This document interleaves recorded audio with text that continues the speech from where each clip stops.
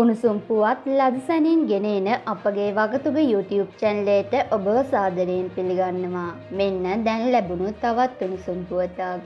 නුවර එලිය වැලිමඩ ප්‍රධාන මාර්ගයේ හග්ගල ප්‍රදේශයේදී සිදු වූ රිය අනතුරකින් පුද්ගලයින් තුන් දෙනෙකු ජීවිතක්ෂයට පත්ව තිබෙනවා. ඇල්ල සිට නුවර එළිය බලා පැමිණි ත්‍රීරෝධ රථයක් නැවත ඇල්ල බලා යමින් සිටියදී මෙම අනතුර සිදුව තිබෙනවා. ඉදිරියෙන් ගමන් කළ පාරිභෝගික භාණ්ඩ ප්‍රවාහනය කරන කන්ටේනර් රථයක තිරිංග ක්‍රියා විරහිත වීම නිසා එය ත්‍රීරෝධ රථය මතට පෙරලී ඇති බවටයි නුවර එළිය පොලිසිය පවසන්නේ.